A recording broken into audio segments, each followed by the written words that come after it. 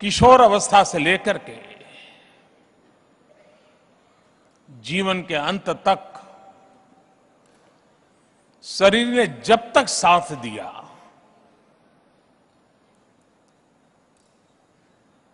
वे जिए, देश के लिए, देशवासियों के लिए, उसूलों के लिए, सामान्य मानवी के अरमानों के लिए और उस काल में राजनीतिक जीवन में जब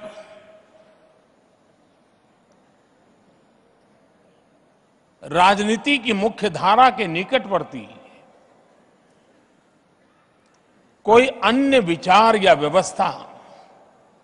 दूर दूर तक नज़र नहीं आती थी। इतना ही नहीं, देश का एक लंबा कालखंड सार्वजनिक जीवन में, खास करके राजनीतिक जीवन में, छुआछूत का कालखंड रहा अपमानित होने के पल पल प्रयास होते थे, झेलना पड़ता था